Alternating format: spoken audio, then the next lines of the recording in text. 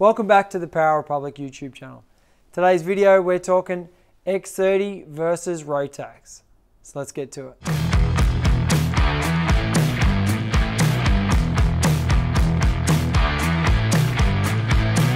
Welcome back to the Power Republic YouTube channel. You might have been following along over the last few weeks and we had a super popular video on Rotax Evo versus the non-Evo. Now we got some great feedback from the community so thank, thanks to everybody out there that asked questions and posted a comment. We really appreciate it. And on the back of that, today's video is going to be the Rotax versus the X30. Now we do have the restricted and the non-restricted dyno chart comparison for you to have a look at. So let's get to it. So the first one we're going to be looking at is the in the restricted version. Now this is super popular here like we've talked about in southeast Queensland. It's a great class for the club day racer and there's a bit of conjecture about the Rotax versus the X30. Now in my opinion they're both excellent engines. The Rotax has a bit better longevity. The X30 has maybe arguably an easier carburetor to use for the novice but they both get the job done on the weekend an X30 won it, a Rotax was second in one category, Rotax in another category. So it really comes down to your driver, your setup, all the usual stuff. But anyway, we've got the power outputs here from the Republic dyno, so let's get to it and have a look on those graphs. Okay, so if we go over here and I'll just blow the graph up, we can see on the left here we've got our torque and our horsepower. So you can see the grid lines there. Also too across the bottom we've got our engine RPM.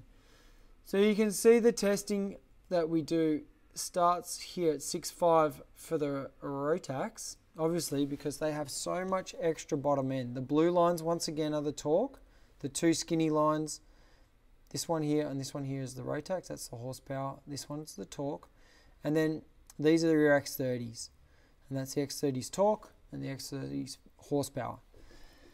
So you can see our X30 RPM starts at 8,000 now it's got a lot more mid-range and top end, so you want to get up there earlier. So we run, say, at our local track, a 10, 80 gear ratio on the X30, whereas on the Rotax we'd use an 11, 80. So we're going to rev the X30 a lot harder, and that's mostly because you can see here the divergence in torque from 10,500 all the way on from there, probably up to your 15,000 RPM red line, the X30 has more power.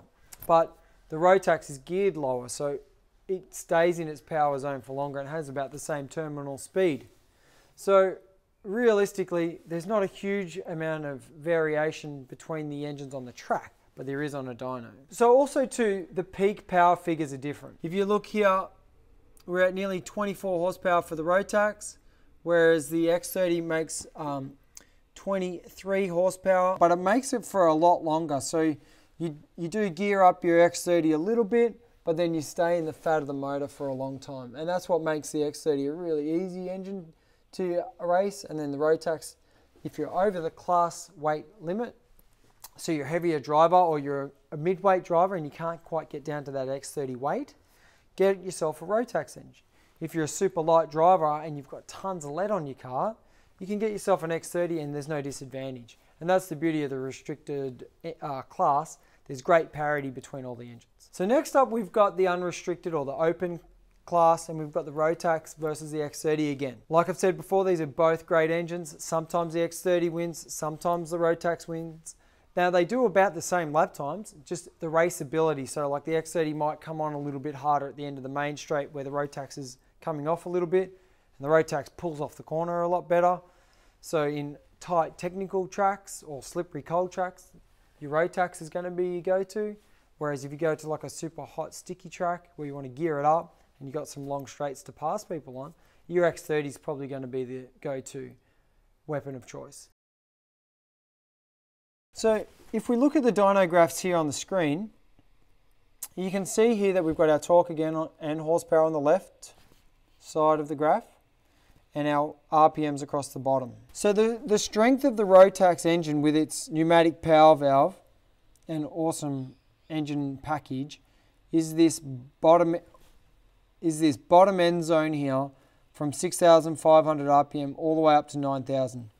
Now the peak torque is about 23 newton meters or thereabouts for the Rotax engine. That's this uh, little blue line here that you can see. And it's over sort of nearly 2,000 RPM. So that's that real hard punch you get off those slow corners in the Rotax engine.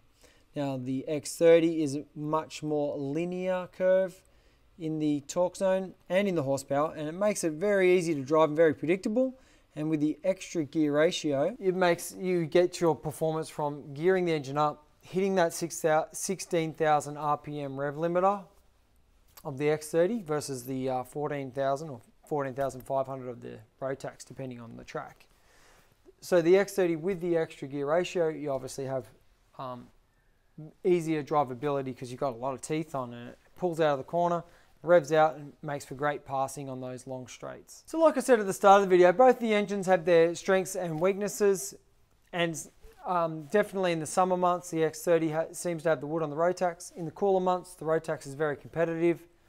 And now if you go to a very tight track um, with a complex of corners and short straights, the Rotax seems to come up trump sometimes. Other times the guys just pedal those X30s so hard that it doesn't matter what you bring to the game, they're still going to beat you.